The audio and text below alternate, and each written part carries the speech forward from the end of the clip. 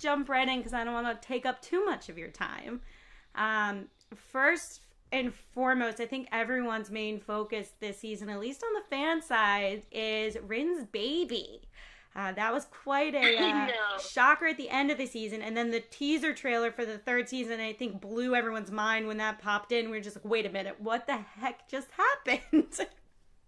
yeah, it's crazy. I mean, when um, when we read the finale for season two, you know, and I I said to Eric, I was like, wait a second, so there's a baby? Are we gonna have a baby if we go to season three? Like, how is that gonna work? Like, and he's like, you'll see. And then uh, it's been it's been magical. It's been absolutely it's it's been one of my favorite seasons uh, because I got to work with a baby. Yeah, it was amazing.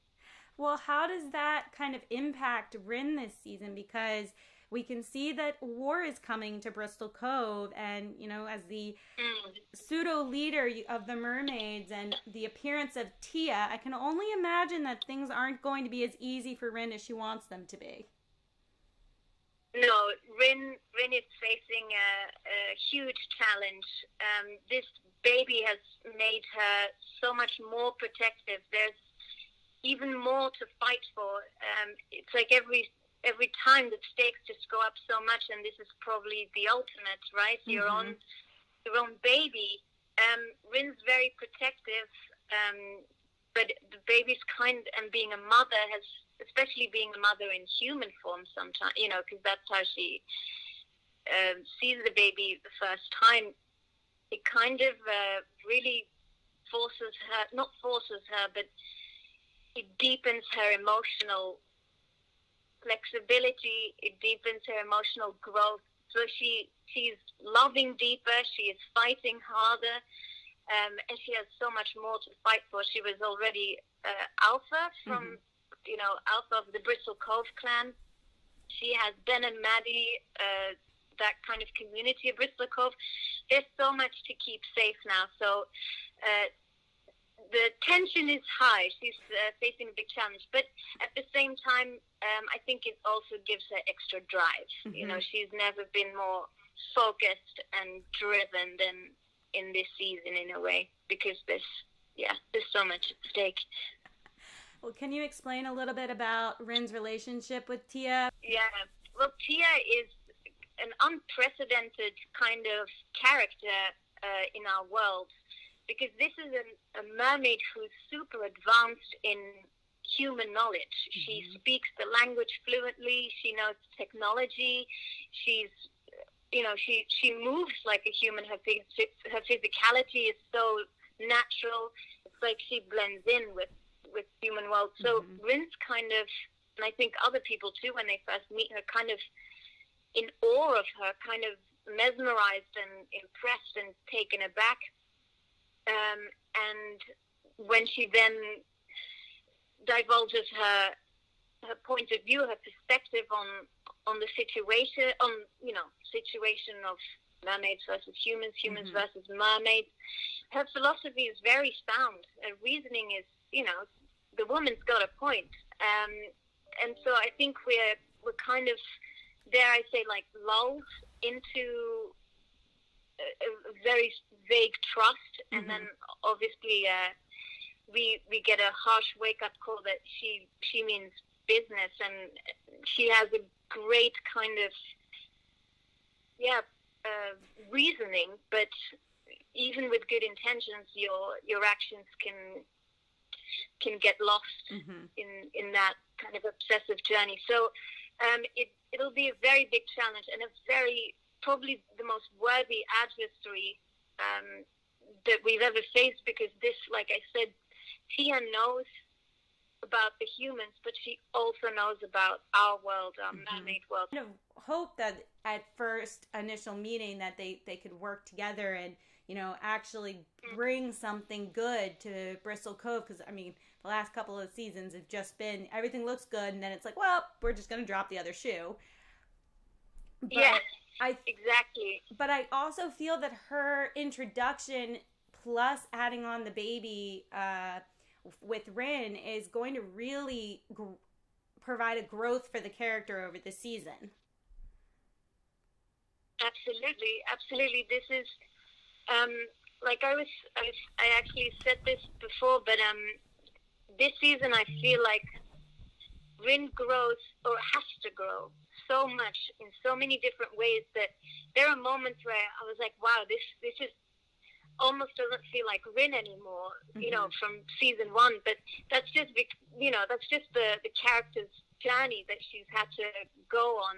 Um, I mean, it's still Ryn, obviously. I just mm-hmm. mean she's has she has to come such a long way in this season to to to really keep her ground and keep everyone safe and navigate you know her world is so simple when she started when it when she started out everything was so simple and so black and white and so straightforward and now she has you know which comes with being in a position of responsibility i guess you have mm-hmm. to make very tough decisions sacrifices um, and sometimes you get knocked back you get beaten down in in very heavy ways mm-hmm. and so it, it's it's one of my it's the best season I think. It's amazing.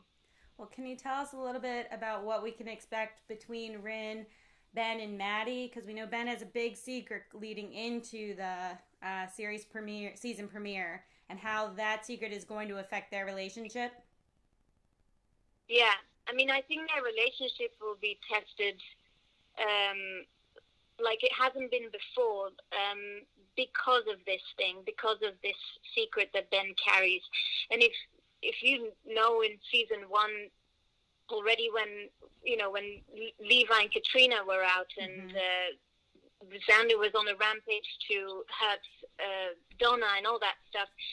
Maddie and Ben have very different opinions on how to go about things, and I think that's always been a little bit of an Achilles heel in their relationship, even before Ryn came along. You know, mm-hmm. they they they see taking action uh, in a very diff- in very different ways, and so if when Maddie finds out about Ben's thing, I think that's going to be a real test for those 2 mm-hmm. in in how they see each other. Um, I think Ryn, you know, what Ben did, Ryn was there.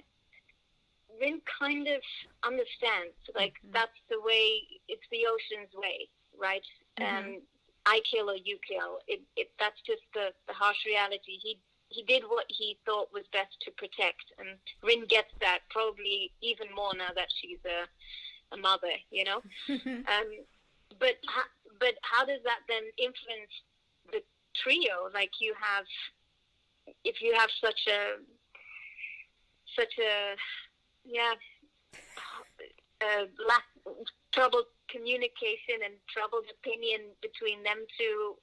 So, uh, long story short, because I mumble, trying to be cryptic, and I give terrible answers. So I'm just going to say that it, will put a real it'll put a real test to them, um, uh, especially because for Ryn, things as you know, she doesn't really understand. She's like, we love each other. Let's just love each other. What's the problem? Mm-hmm. And obviously, humans, you know, we're much more complicated than that, right? We have to go to therapy. No, um, it's just uh, she, finds, she finds it hard to understand. The trio will be put to the test.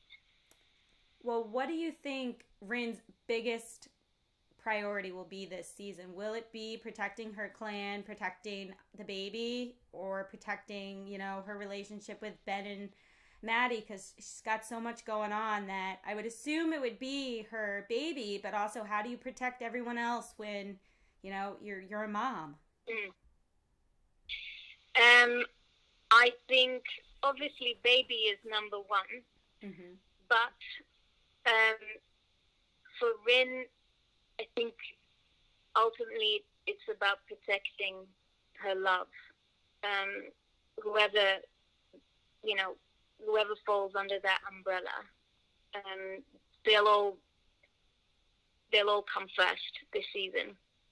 Because I don't want to choose between my baby and and my you know my love. Yeah. Um, but I'll just so yeah, protecting protecting those she loves till the bitter end as much as she can. Um, yeah. Well, I'm excited to see. How... I'm excited to see yeah. her do. Um, basically, it looks like a lot of action this season, a lot more than the past two seasons. Yeah. So, can you talk a little bit about that? Ah, it's been brilliant. It's been, I mean, I'm obviously biased, but it's also why, why I've loved this season. Like, the action is the most we've ever done. Uh, in, in every kind of environment, under any, under so many different circumstances. Um, my one of my favorite things was uh, learning to do spear fighting. Uh, and by learning, I mean, you know, we got the choreography and then we shot it the day after. But so I tried to practice a lot in the weekends mm-hmm. with uh, my, you know, colleagues and, and stunt people and stuff who, you know, became friends by the end of it. Uh, and I loved that so much because this world is very physical mm-hmm. and and I feel like it, it's a very good way to uh, express that and, and you you have to be in it. You have to commit. So I love those kinds of things. Um, and also underwater, the action uh, was increased. So we we had to really um, up our game in in terms of water work, breath holds, um, choreography, um, and, and working together, right? Which is very hard when you're you can't really see underwater and all that stuff. So um, probably under the underwater stuff, I'm so excited to, mm-hmm. to see because we really worked hard on that and gave it a lot of love, and there's some magical, magical moments coming. I'm so excited. Um, I hope it pays off. Like the first time I saw the baby, you know, it mm-hmm. was the first time I saw the the baby and what they did with her. It was so beautiful. So yeah, very excited about all the action. Has the underwater scene Megan? Yeah. Megan, we have time for one more question. Perfect. Um, has the underwater scenes gotten easier since season one? Yeah, like for, for me, yeah, because I've you know I've done so many of them now, so I feel very at ease and very confident and I mean confident as in I feel like I know my body, I know what I can do, and the other actors too. Um, so in that sense, yes, but obviously, you know, they know we're getting more athletes in the water, so they're upping their game in what they're writing, mm-hmm. right? So it, there's still uh, some challenges, especially um, in this season three. We're trying to do some, and also we're, we're trying to really do more storytelling underwater. Um, like I've been working like I was kind of pitching uh, the language from the from season one. I've been trying to see what language they were using underwater. So uh, I was allowed to develop that and um, so cool. work on that, uh, and which you'll also see in the show, which I'm very excited about. Uh, so yeah, uh, easier and yet uh, more challenging at the same time. Perfect.